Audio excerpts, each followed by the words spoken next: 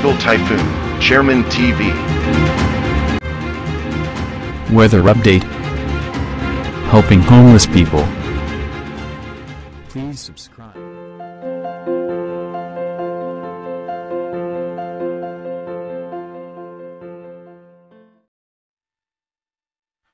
Magandang umaga po. Ito po ang ating weather update para ngayong ah, March 21, 2022. Kung mapapansin nga po natin, no, merong makakapal na kaulapan dito sa may parte ng extreme northern Luzon. Ito nga po yung ating ah, tinatawag na northeasterly surface wind blown. Ito nga po ay nakakaapekto dito po sa may ah, parte no, ng ah, Batanes and Babuyan Islands. At kung mapapansin naman natin, ano, magiging maganda po ang lagay ng panahon dito po sa malaking bahagi ng Luzon at maging sa may Metro Manila. Makakaranas tayo no, ng mga posibilidad na pag-ulan, lalo po yan yung ating tinatawag na localized thunderstorm. Umiiral pa rin naman po yung uh, easterlies dito sa malaking bahagi ng uh, Visayas at ng uh, Mindanao hanggang sa Palawan. May mga posibilidad po na pag-ulan tayong mararanasan, lalo po dito sa may uh, Palawan. Makikita nga po natin ano, yung makakapal na kaulapan. So check natin yung uh, zoom view ng ating mga lugar kung saan yung mga pwedeng makaranas ng pag-ulan. Kung mapapansin nga po natin, ano, dito nga po sa may extreme northern Luzon, magiging maganda po ang lagay ng panahon. Dito po sa may Babuyan Island, sa may Batanes. At dito naman po sa may parte ng uh, Apari, may mga maninipis na kaulapan tayong mararanasan. At maging dito po sa may Cagayan Valley, Isabela.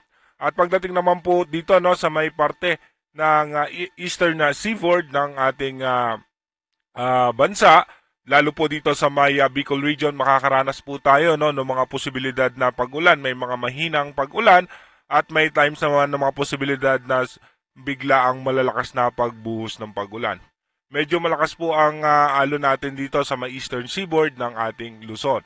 Dumako naman tayo sa Visayas and Mindanao hanggang sa may Palawan kung saan nga po no, na may mga posibilidad na pag-ulan na may mararanasan lalo po dito sa may parte ng uh, Tacloban, sa may uh, parte ng Bacolod, ng Cebu City, makakaranas po tayo dyan ng makakapal na kaulapan at may mga posibilidad nga po no, na bigla ang pagbuhos ng pagulan, maging dito po sa may parte ng Mindanao. Makikita naman po natin ano, yung makakapal na kaulapan na may mga kulay blue, ayan po yung mga posibilidad na bigla ang pagbuhos ng pagulan.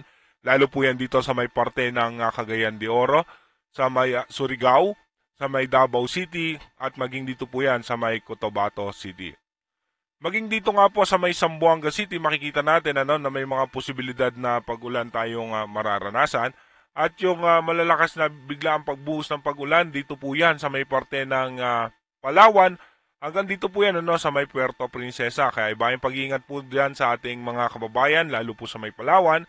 At yung ating mga pumapalao dyan ay may mga posibilidad nga po na makaranas tayo ng malalakas na pagulan at yung uh, paglakas ng ating pag-alon. Silipin naman po natin yung ating advanced weather forecast kung saan nga ma- posibleng makita natin yung uh, lagay ng panahon. By uh, March 22, makikita nga po natin, tuloy-tuloy nga po, magiging maganda naman po ang lagay ng panahon. So balit mayroon tayong nakikita mga biglaang uh, may hinang uh, pag-ulan dito po sa may eastern section ng Visayas at mayroon po tayong nakikita makakapal na uh, kaulapan dito po sa loob at labas ng ating bansa. By uh, March 23, makikita nga po natin na ganun pa rin po ano, tuloy-tuloy makakaranas tayo ng maayos at malinsangang panahon kaya yung ating mga kababayan dyan na dapat magbaon na po tayo ng payong at ng tubig dahil nga po sa maalinsangang panahon. Pagdating naman po ng March 24, makikita nga po natin meron tayong posibleng low pressure area dito po sa eastern uh, section ng uh, Mindanao ito nga po ay mababa ang tsansa na maging isang ganap na bagyo. Ito nga pong low pressure area ay posibleng tumawid ng ah, Mindanao as low pressure area. By uh, March 25, makikita nga po natin uh, yung low pressure area dito pa rin sa eastern section ng uh, Mindanao. At uh, tuloy-tuloy pa rin naman po magiging maganda ang lagay ng panahon ng buong bansa maliban lamang po sa Palawan na posibleng makaranas ng biglaang pagbuhos ng pagulan. Pagdating naman po ng uh, March 26, makikita nga po natin magiging maganda po ang lagay ng panahon ng ating uh, bansa.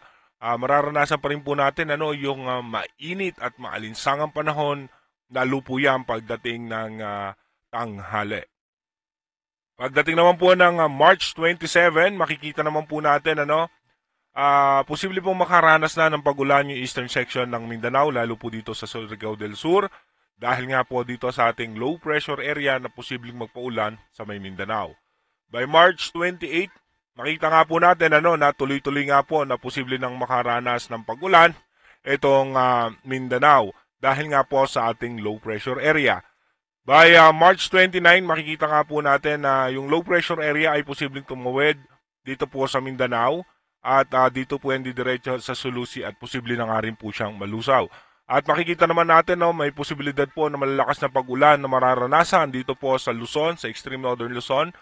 Dito po lalo sa may Tugigaraw, Cagayan at Isabela, may posible po tayo malalakas na pag-ulan. By March 30, ito na nga po, no, makikita nga po natin na tuloy-tuloy po makakaranas ng ah, pag-ulan ng eastern section ng ah, Luzon at hanggang dito po yan sa may Metro Manila at makikita na po natin ano yung ah, makakapal na kaulapan sa loob at labas ng ating bansa. Sa ngayon nga po, ayon sa ating advanced weather forecast, wala po tayong anumang ah, bagyo na nakikita na posibleng mabuo dito nga po sa loob at labas ng ating bansa. Meron lamang po tayong inaasahang mga low pressure area na posibleng ah, mabuo at ah, malulusaw din po agad. Manatili po tayo nakatutok sa ating advanced weather forecast para po makita natin no, yung mga pagbabago na nakikita natin sa ating advanced weather forecast.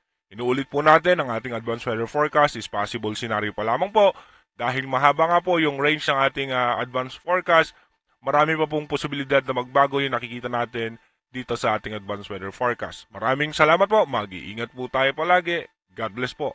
Copyright lahat. disclaimer under Section 107 of the Copyright Act 1976. Allowance is made for fair use for purposes such as criticism, comment, news reporting, scholarship, and research. Fair use is a use permitted by copyright statute that might otherwise be infringing. Non-profit, educational, or personal use tips the balance in favor of fair use. Disclaimer Please note no copyright infringement is intended. I do not own some materials, images, video clips, nor audio clips used in this video. All content used fall under the remits of fair use. If happen that someone claims their ownership of the said materials above, I will not hesitate to remove them immediately.